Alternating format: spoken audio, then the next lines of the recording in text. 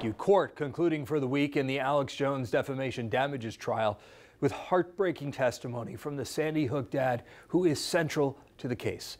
Robbie Parker has been the focus of Jones's lie that the school shooting was staged.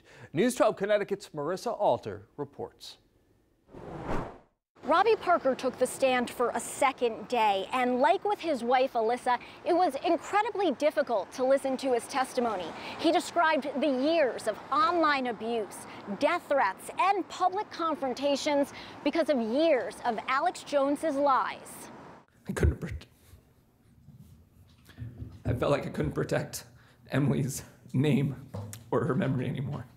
Robbie Parker had to shut down the Emily Parker Memorial page on Facebook after it was inundated with hate fueled by lies from Alex Jones that Sandy Hook was a hoax.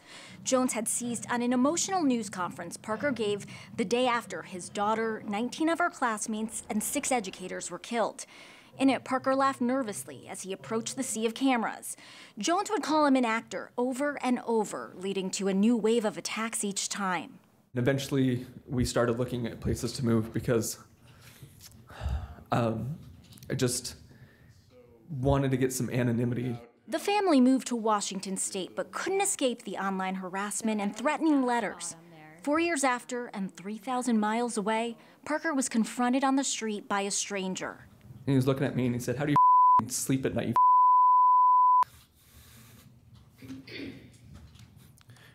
And I just kind of was really taken back by that, and I stared at him. And he had so much venom and so much hatred for who he thought that I was. How much money did you get from the government? Parker testified he stayed silent about the abuse for fear of encouraging it. But in 2018, as families of Parkland shooting victims endured the same lies from Jones, Parker did something. He joined this lawsuit. I don't need to be quiet anymore and I can say something and I can fight this. Testimony continues Tuesday, and we do expect both sides to conclude presenting evidence at some point next week. That does include a return to the stand for Alex Jones, who's set to testify in his defense. As we learned the last time, expect the unexpected.